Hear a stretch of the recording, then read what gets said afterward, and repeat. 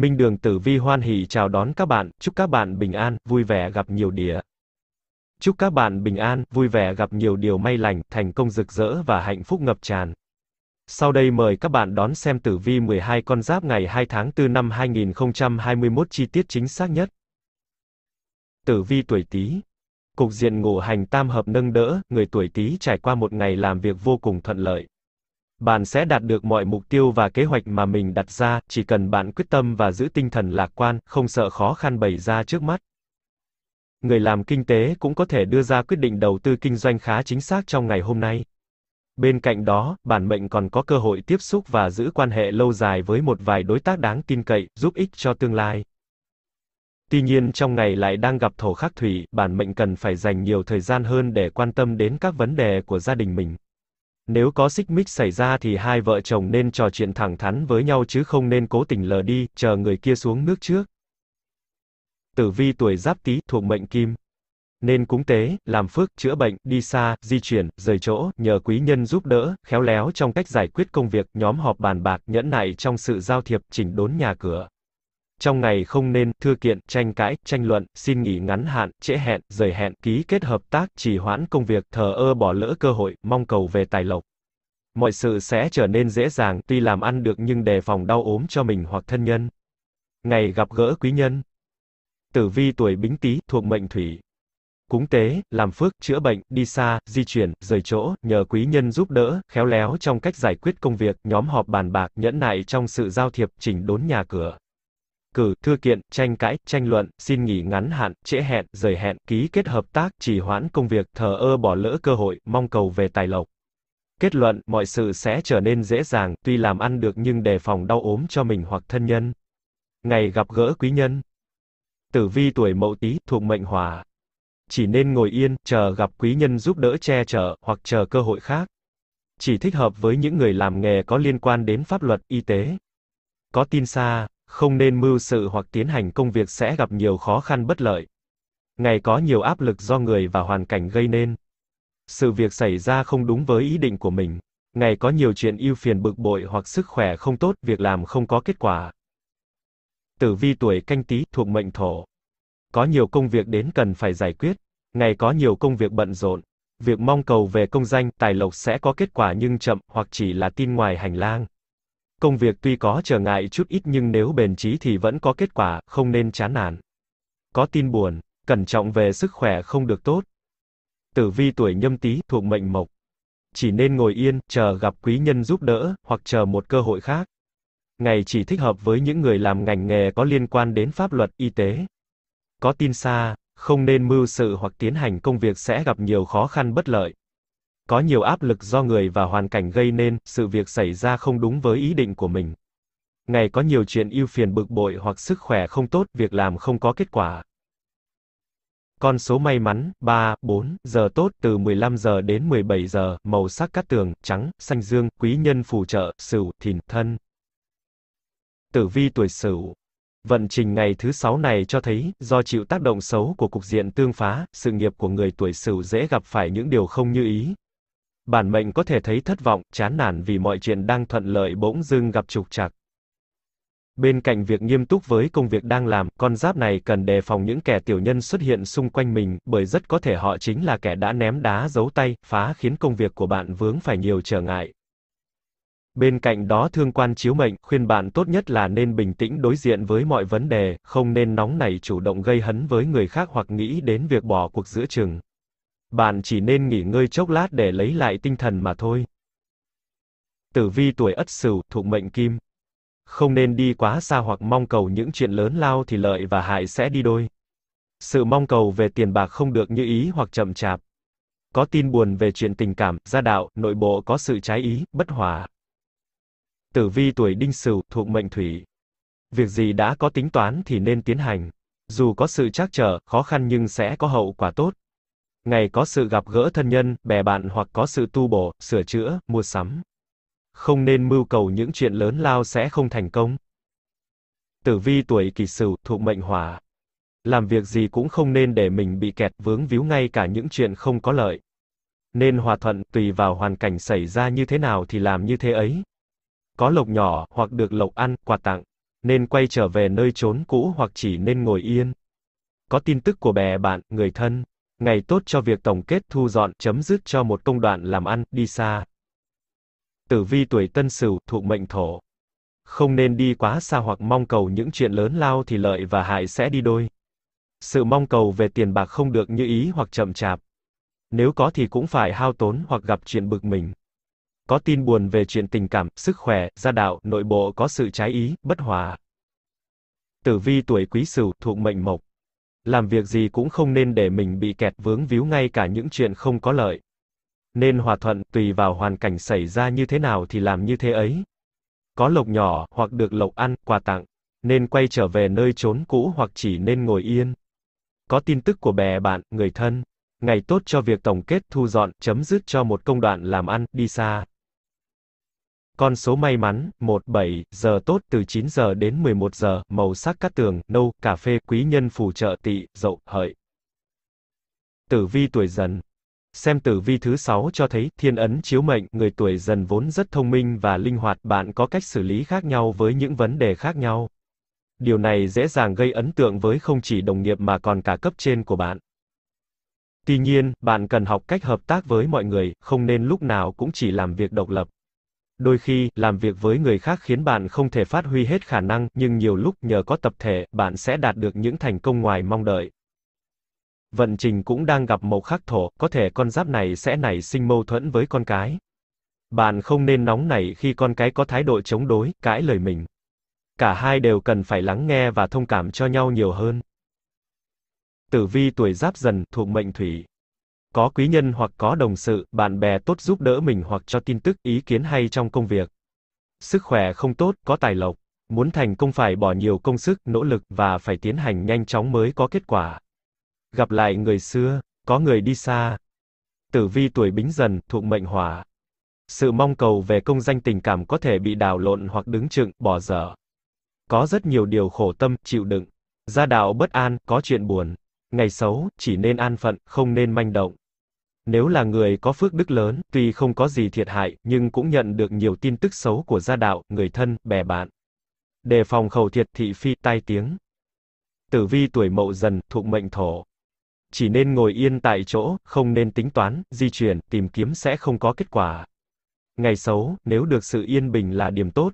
Ngày gặp những chuyện không đâu. Nếu có việc làm thì dễ bị nhiều áp lực khó khăn. Đề phòng có người kích bác hoặc chơi xấu mình. Gia đạo bất an có tin buồn, hoặc tin tức không đến, hoặc đến mà không được như ý bị từ chối. Tử vi tuổi canh dần, thuộc mệnh mộc. Tất cả sự thành bại của mình đều tùy thuộc vào kết quả tốt hay xấu trong công việc của quý nhân, hoặc người cấp trên, đồng sự với mình. Tuy nhiên đây cũng không phải là ngày tốt cho các công việc làm ăn lớn, cầu tài, sẽ bị phá ngang nửa chừng, việc xảy ra ngoài ý muốn. Tâm tình bất an, có chuyện buồn, hay lo, gặp trở ngại. Có nhiều áp lực đến với mình trong công việc cũng như tình cảm cần phải giải quyết. Tài lộc nhỏ hoặc chậm chạp, dễ hao tài, sự mong cầu về đi xa hoặc thay đổi hoàn cảnh hiện tại chưa tốt. Tử vi tuổi nhâm dần, thuộc mệnh kim. Chỉ nên ngồi yên tại chỗ, không nên tính toán, di chuyển, tìm kiếm sẽ không có kết quả. Ngày xấu, nếu được sự yên bình là điểm tốt. Ngày gặp những chuyện không đâu. Nếu có việc làm thì dễ bị nhiều áp lực khó khăn. Đề phòng có người kích bác hoặc chơi xấu mình. Gia đạo bất an có tin buồn, hoặc tin tức không đến, hoặc đến mà không được như ý bị từ chối.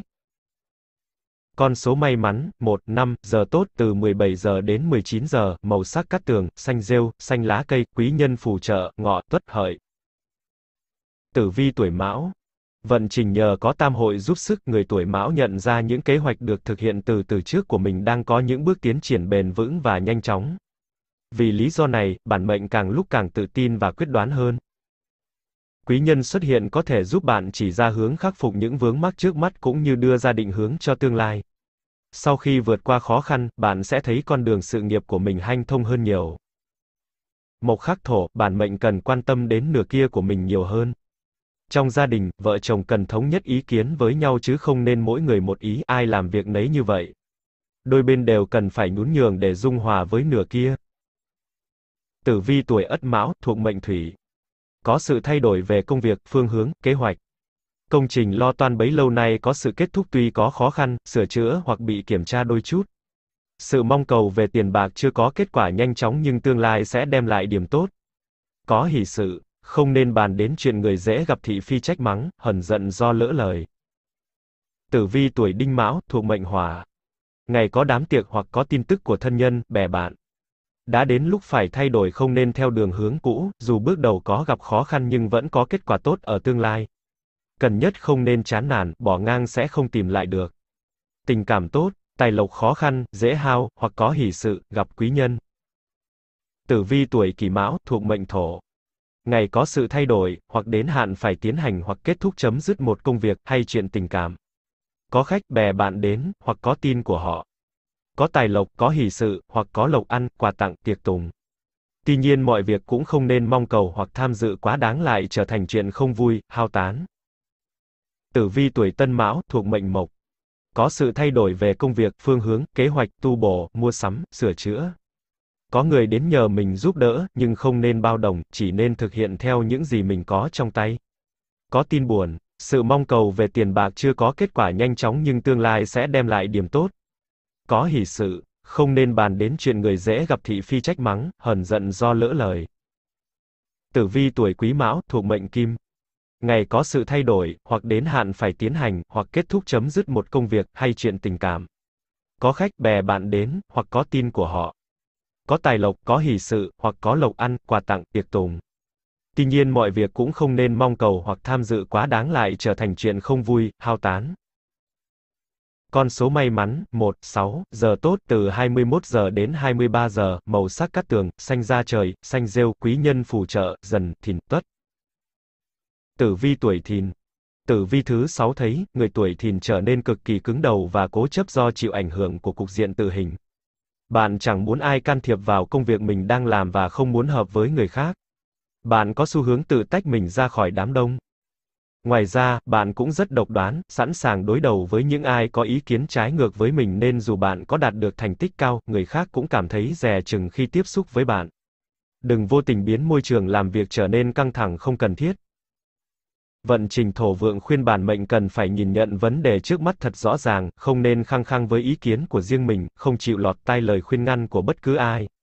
Đừng luôn cho rằng người khác mới sai, còn mình là đúng như vậy. Tử vi tuổi Giáp Thìn, thuộc mệnh Hỏa. Ngày tuổi của bổn mạng, nên cẩn trọng về sức khỏe. Tâm tình bất an, không nên vội vã hấp tấp khi sự việc xảy ra, mà chỉ nên hành động như thường ngày. Sẽ có tin đến, tài lộc bình thường, có sự cầm giữ tiền bạc của người khác, hoặc có mà phải có sự phân chia. Ngày có sự tu bổ hoặc sửa chữa về phương tiện máy móc xe cộ. Cầu đi xa hoặc muốn thay đổi hiện trạng, hoàn cảnh phải có sự chờ đợi, chậm trễ chút ít. Tử vi tuổi Bính Thìn, thuộc mệnh Thổ. Ngày tuổi của bổn mạng, không nên cưỡng cầu những việc lớn lao, tiến hành giao dịch hoặc hẹn ước. Nên xem xét lại những gì mình đã nói hoặc hứa hẹn ở quá khứ có sự sơ sót nào hay không. Chỉ nên an phận và nghỉ ngơi, hoặc chỉnh đốn lại các công việc nhà, văn phòng. Càng cẩn trọng thì bớt sự âu lo. Có tin buồn. Tử vi tuổi Mậu Thìn, thuộc mệnh Mộc. Ngày tuổi của bổn mạng, hãy chỉ nên chăm chú vào một chuyện, không nên ôm đồm công việc. Hãy bình tĩnh dù sự việc có khó khăn đến đâu cũng có phương cách giải quyết. Sức khỏe không tốt, gia đạo bất an, tuy nhiên cũng có được cơ hội để giải trừ. Nếu không phải là việc hệ trọng thì nên nghỉ ngơi. Tử vi tuổi canh thìn, thuộc mệnh kim. Ngày tuổi của bổn mạng, nên cẩn trọng về sức khỏe. Tâm tình bất an, không nên vội vã hấp tấp khi sự việc xảy ra, mà chỉ nên hành động như thường ngày. Có sự cầm giữ tiền bạc của người khác, hoặc có mà phải có sự phân chia. Ngày có sự tu bổ hoặc sửa chữa về phương tiện máy móc xe cộ. Cầu đi xa hoặc muốn thay đổi hiện trạng, hoàn cảnh phải có sự chờ đợi, chậm trễ chút ít. Tử vi tuổi nhâm thìn, thuộc mệnh thủy. Ngày tuổi của bổn mạng. Hãy chỉ nên chăm chú vào một chuyện, không nên ôm đồm công việc. Hãy bình tĩnh dù sự việc có khó khăn đến đâu cũng có phương cách giải quyết. Sức khỏe không tốt, gia đạo bất an, tuy nhiên cũng có được cơ hội để giải trừ. Nếu không phải là việc hệ trọng thì nên nghỉ ngơi. Có tin xa. Con số may mắn, 3, 4, giờ tốt từ 15 giờ đến 17 giờ, màu sắc cát tường, vàng, xám, quý nhân phù trợ, tí, thân, dậu. Tử vi tuổi tỵ Tử vi thứ 6 cho thấy, tỷ kiên gây rối, người tuổi tỵ đang làm việc ở vị trí lãnh đạo có thể sẽ phải tốn nhiều thời gian giải quyết những rắc rối bắt nguồn từ cấp dưới. Hãy thật bình tĩnh để có phương án giải quyết chính xác nhất chứ không nên vội quy trách nhiệm cho bất cứ ai.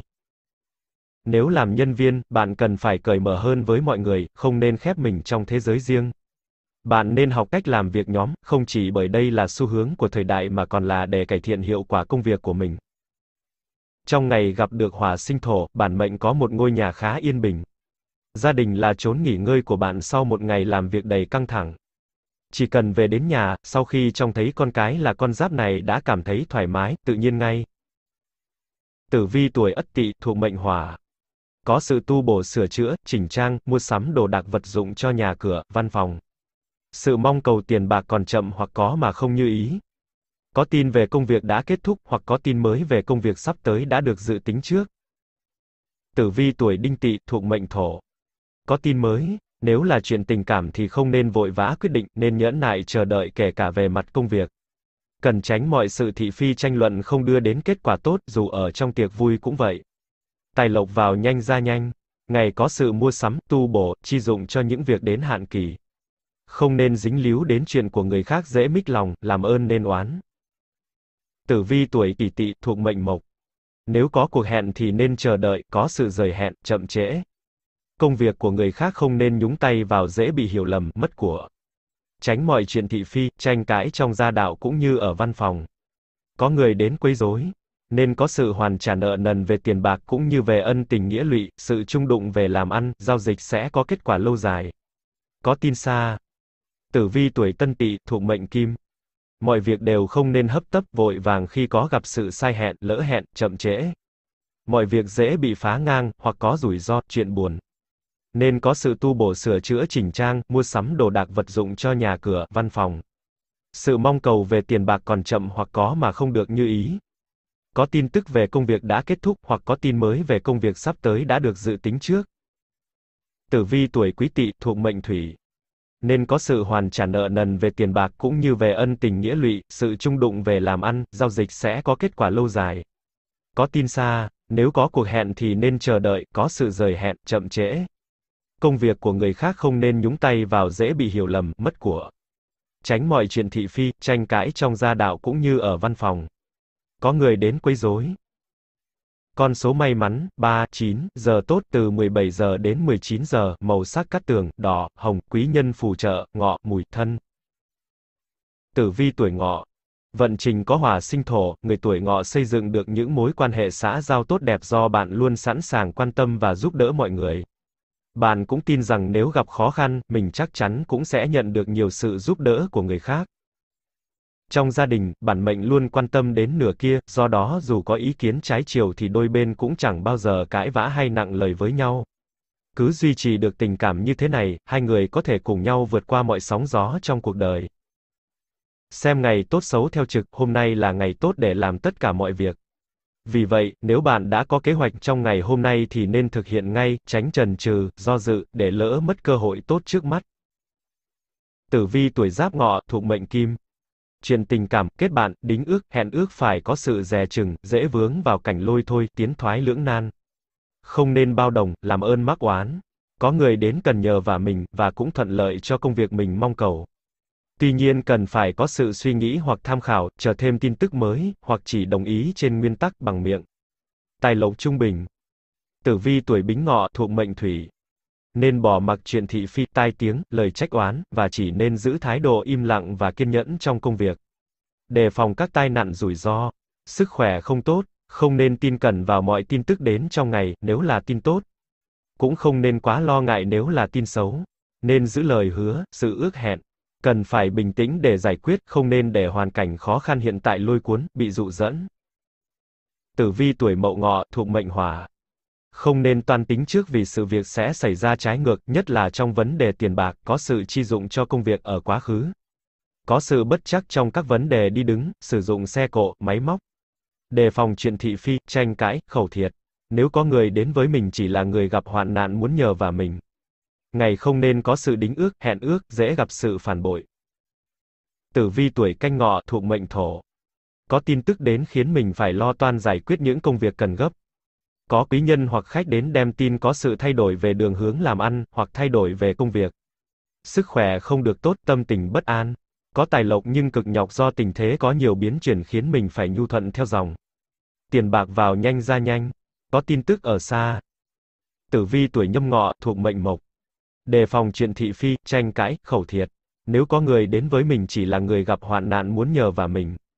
Ngày không nên có sự đính ước, hẹn ước, dễ gặp sự phản bội. Không nên toan tính trước vì sự việc sẽ xảy ra trái ngược, nhất là trong vấn đề tiền bạc, có sự chi dụng cho công việc ở quá khứ. Có sự bất chắc trong các vấn đề đi đứng, sử dụng xe cộ, máy móc. Con số may mắn, 4, 5, giờ tốt từ 3 giờ đến 5 giờ, màu sắc cát tường, tím, hồng, quý nhân phù trợ, dần, mùi tuất. Tử vi tuổi mùi Trong ngày đang gặp thương quan giáng họa, người tuổi mùi có thể phải đối diện với nhiều điều không mong muốn trong ngày hôm nay. Nếu cần phải tham gia thi cử hoặc ứng tuyển, bạn cần phải chuẩn bị cẩn thận, tránh mắc phải sai sót không đáng có. Bên cạnh đó, bạn cũng cần phải rèn luyện tính làm việc có kỷ luật, đặc biệt nếu đã đi làm, bạn không thể chỉ làm việc dựa theo cảm hứng của mình. Hãy tuân thủ các quy định của tập thể nếu không muốn bị cấp trên đánh giá không tốt. Nếu có ý định xuất hành vào ngày hôm nay, bạn nên đi về hướng Tây Bắc để gặp hỷ thần hoặc hướng Tây Nam để gặp tài thần.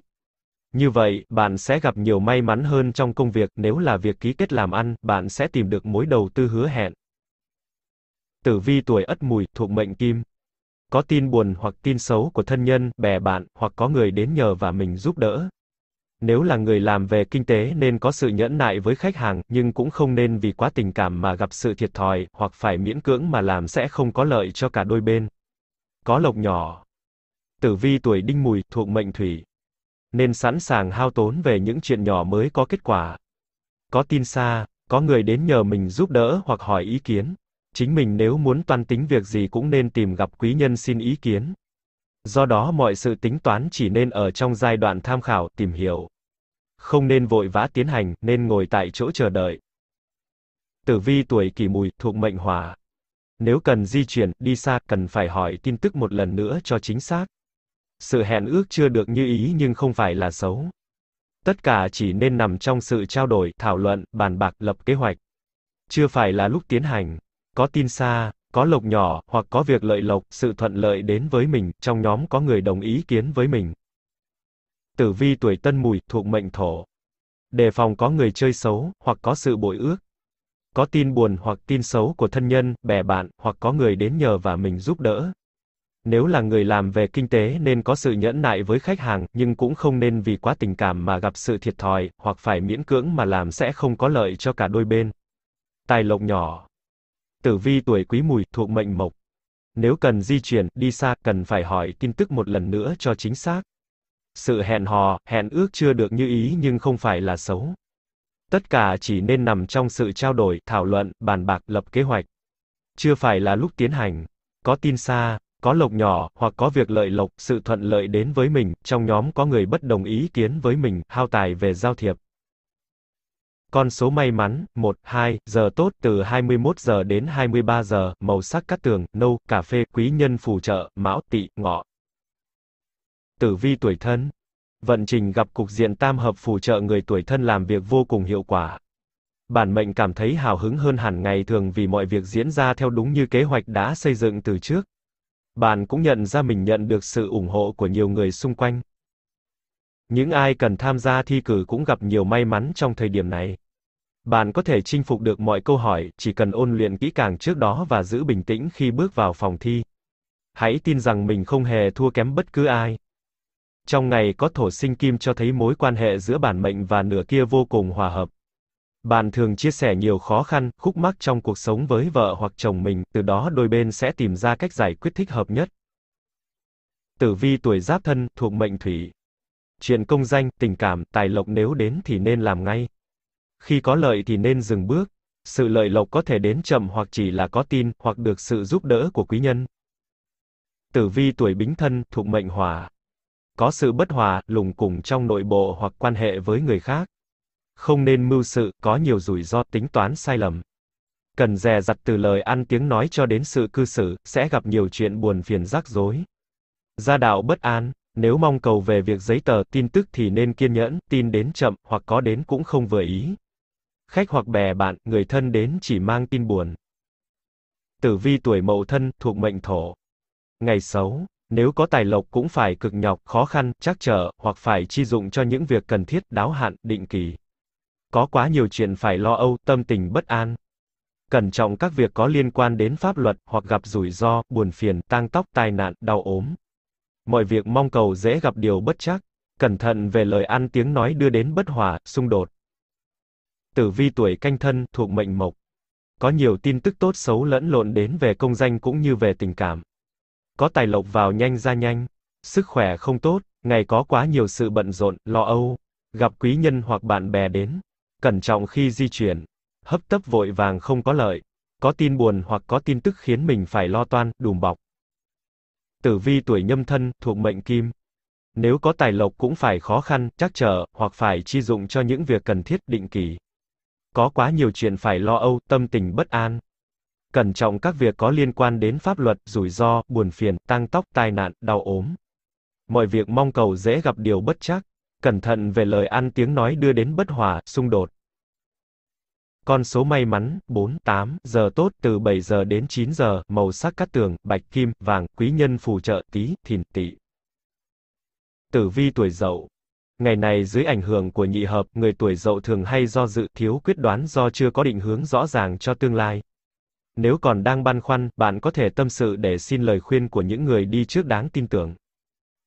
Trong các mối quan hệ xã hội, bạn luôn đối xử tốt với những người chân thành và chọn cách làm lơ những kẻ có ý đồ xấu. Nhờ vậy mà tinh thần bạn trở nên nhẹ nhõm hơn nhiều. Đó là lối sống tích cực mà nhiều người nên học tập. Vận trình thổ sinh kim, mối quan hệ gia đình của người tuổi này rất hòa hợp. Bạn và nửa kia luôn yêu thương và thấu hiểu nhau. Nửa kia là động lực của bạn, giúp bạn không ngừng tiến lên, cho dù trước mắt bạn phải đối diện với khó khăn gì đi nữa. Tử vi tuổi Ất Dậu, thuộc mệnh Thủy. Mọi việc nên hoạt động một cách bình thường. Dù thấy có cơ hội phát triển hoặc muốn tiến thêm cũng nên chậm rãi, hoặc nên bàn thảo kỹ lưỡng rồi hãy quyết định. Có tin tức ở xa, Tử vi tuổi đinh dậu, thuộc mệnh hỏa. Nên thay đổi ý định, công việc dù có chút ít khó khăn ngăn trở. Tuy nhiên vẫn có quý nhân hoặc gặp được cơ hội tốt. Chỉ nên lắng nghe ý kiến của khác nhưng phải tự mình quyết định. Hoặc không nên bàn hoặc nhúng tay vào những chuyện không dính líu đến quyền lợi của mình. Cẩn trọng có sự đổ lỗi hoặc phải gánh vác trách nhiệm một cách vô cớ. Tài lộc không được như ý. Tử vi tuổi kỷ dậu, thuộc mệnh thổ. Mọi việc xảy ra rất nhanh, có sự biến chuyển, đảo lộn. Do đó không nên vội vã nêu ý kiến của mình. Hãy chờ đợi và lắng nghe những ý kiến của người khác. Sự thỏa thuận, hẹn ước ở quá khứ nay có sự thay đổi ở người. Có lộc nhỏ hoặc có lộc ăn, tin vui. Sự cầu mong về hỷ sự, thi cử, công danh có kết quả. Tử vi tuổi tân dậu, thuộc mệnh mộc. Mọi việc nên hoạt động bình thường. Ngay cả trong chuyện tình cảm, giao thiệp cũng phải có chuyện dè rặt. Đừng tưởng tất cả đều có ý như mình đã nghĩ. Không nên tin cẩn về lời nói, lời hứa. Dễ hao tài. Dù thấy có cơ hội phát triển hoặc muốn tiến thêm cũng nên chậm rãi, hoặc nên bàn thảo kỹ lưỡng rồi hãy quyết định. Có tin xa. Tử vi tuổi quý dậu, thuộc mệnh kim. Có nhiều tin tức tốt xấu lẫn lộn đến về công danh cũng như về tình cảm. Có tài lộc vào nhanh ra nhanh. Sức khỏe không tốt, ngày có quá nhiều sự bận rộn, lo âu. Gặp quý nhân hoặc bạn bè đến. Cẩn trọng khi di chuyển. Hấp tấp vội vàng không có lợi. Có tin buồn hoặc có tin tức khiến mình phải lo toan, đùm bọc. Con số may mắn, 2, 5, giờ tốt từ 9 giờ đến 11 giờ, màu sắc cát tường, bạch kim, xám, quý nhân phù trợ, sửu, thìn, tỵ. Tử vi tuổi tuất. Vận trình cục diện tương xung khiến người tuổi tuất gặp phải nhiều điều rắc rối trong sự nghiệp. Nếu bạn là người mắc khuyết điểm, hãy dũng cảm đứng ra nhận trách nhiệm và tìm cách khắc phục chứ không nên tìm cách đùn đẩy, đổ tội cho người khác. Để tài sản tránh rơi vào tình trạng thất thoát, những người làm ăn kinh doanh tránh ký kết những hợp đồng quan trọng vào ngày hôm nay. Cho dù bạn có sốt sắng và nuôi tham vọng làm giàu lớn đến đâu đi chăng nữa thì cũng cần bình tĩnh chờ thời cơ thích hợp. Trong ngày có thổ vượng, bản mệnh cần phải chú ý nhiều hơn đến sức khỏe cũng như chế độ ăn uống của mình, tránh tham công tiếc việc, làm việc quá sức. Hãy nghỉ ngơi điều độ để không mắc phải các bệnh như xương khớp, dạ dày, thần kinh. Tử vi tuổi giáp tuất thuộc mệnh hỏa. Ngày sung của bổn mạng, nên đề phòng sức khỏe, không nên ham công tiếc việc sẽ xảy ra chuyện không hay. Có tài lộc hoặc có tin tốt cho công việc. Có người đến báo tin buồn về công danh, sức khỏe, bổn mạng của người thân nhưng không phải là chuyện lớn đối với mình. Tử vi tuổi bính tuất thuộc mệnh thổ. Ngày sung của bổn mạng, Nên thực hiện hoặc tiến hành những công việc đã có sự dự định trước. Đề phòng sự việc xảy ra, có sự trắc trở hoặc không đúng với ý nghĩ. Nếu có mong cầu về tiền bạc, tài lộc thì cũng phải chật vật khó khăn mà cũng không được như ý. Đề phòng tiểu nhân, hoặc do sự lầm lẫn của họ đem đến sự thiệt hại cho mình. Tử vi tuổi mậu tuất thuộc mệnh mộc. Ngày sung của bổn mạng. Không nên mưu cầu những chuyện lớn lao sẽ có hại. Mọi tin tức đến đều không có lợi. Nếu có khách đến cũng không đem lại điều lợi cho mình, chỉ là ý kiến thoáng qua. Mọi việc không thể giải quyết trọn vẹn. Dù có tài lộc cũng phải có sự hao tán về nhờ vả, giúp đỡ, giao dịch, giao thiệp. Tử vi tuổi canh tuất thuộc mệnh kim. Có tài lộc, có quý nhân giúp đỡ. Công việc đến thì nên nhanh chóng giải quyết không nên để chậm trễ sẽ mất cơ hội. Nghe tin tức xấu về bổn mạng, sức khỏe, công danh, tình cảm, tài lộc của người thân, bè bạn. Tử vi tuổi nhâm tuất thuộc mệnh thủy.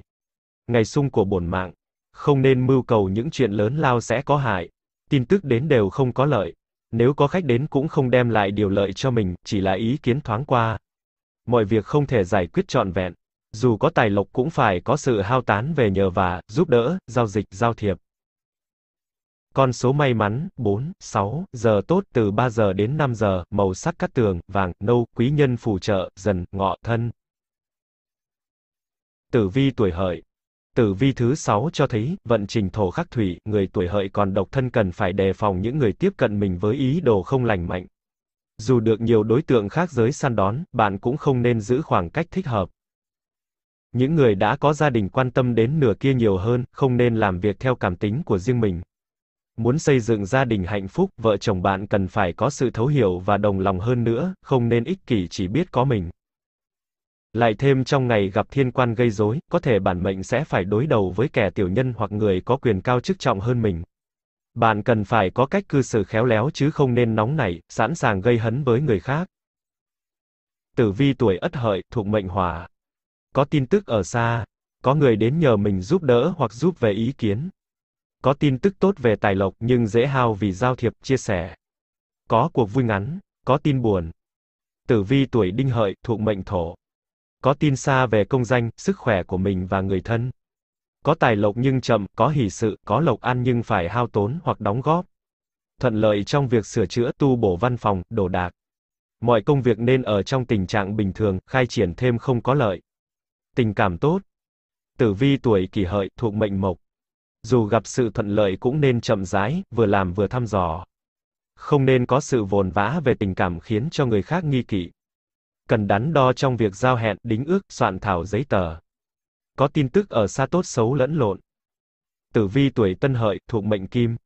Chuyện giao du tình cảm, ước hẹn, hò hẹn coi chừng chỉ là lời nói suông, hoặc không có được kết quả gì, chỉ là sự chờ đợi, khó khăn, buồn phiền, hao tốn. Có tin xa, có người đến nhờ mình giúp đỡ hoặc giúp về ý kiến, nhưng cũng không nên nhúng tay vào chuyện của người, ngoại trừ vì tình nghĩa mà mình phải hy sinh. Tử vi tuổi quý hợi, thuộc mệnh thủy.